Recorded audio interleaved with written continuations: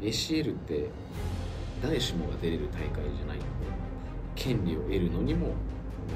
本当に大変な思いをしなくちゃいけないし2020年2022年のトーナメントの1回戦で跳ね返されてしまってあの日の悔しさって本当に忘れたことないし。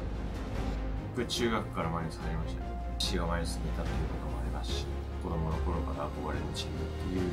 のがマリノス。ったし常に小さい頃から身近にあったチーム、うん、一言じゃ表せないですけど僕の中でも大事なものかなと思います。なくてはならないものだと思います。お父さんとお母さんがずっと好きで気づいたらもう生きていたので。きっかけはここに初めて来て遊園地みたいに楽しくて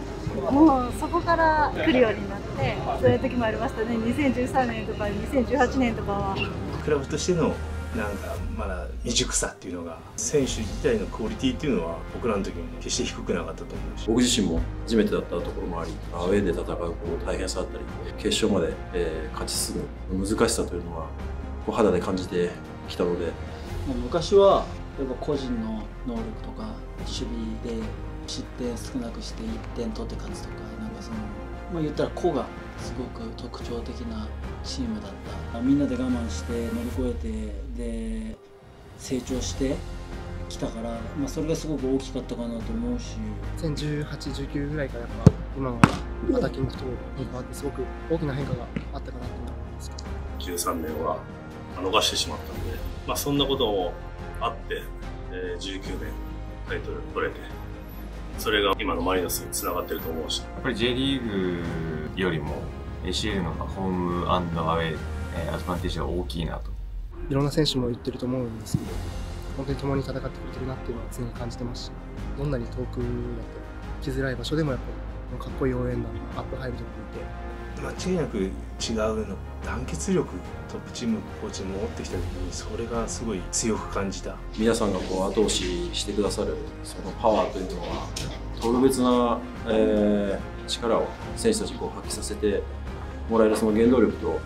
なっているのはもう間違いないと思うのでファンサポーターの方はとても温かいし、まあ、うまくいかない時期もありますけどそういう時でも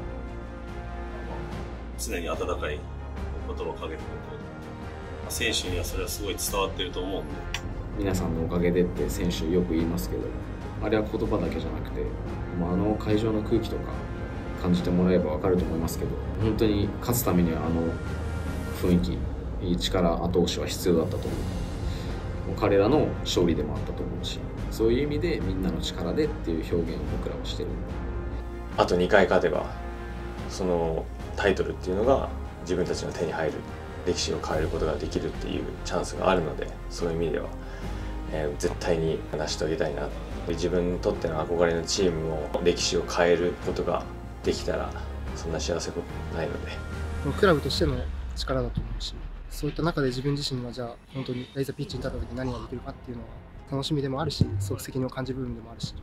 歴史にチームとして 名を刻みたいなっていうのはあります。It's a chance. We've done the hard work. Now we get to enjoy the moment because everyone's talking about it. Everyone, you know, he's feeling confident. There's, there's, there's no question about that. And I think you should feel confident because you are in a final. Finals don't come round that often. You know, some people, some footballers never even get a chance to play in the final. So we have to be ready as a, not only as a team, but as a fan base, as a club. We all have to be prepared for this game. Not just the team. Everyone associated with the Marinos has to be ready for this game. 本当にチームを誇りに思う場面ってたくさんあるしだからこそ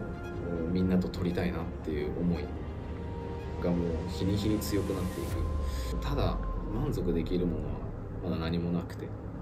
満足感に浸ってるっていうことも一切ないし決勝で勝って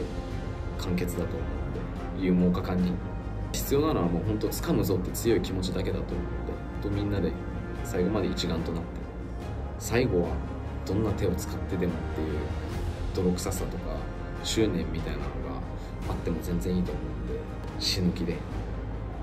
取りに行きたいなと。思って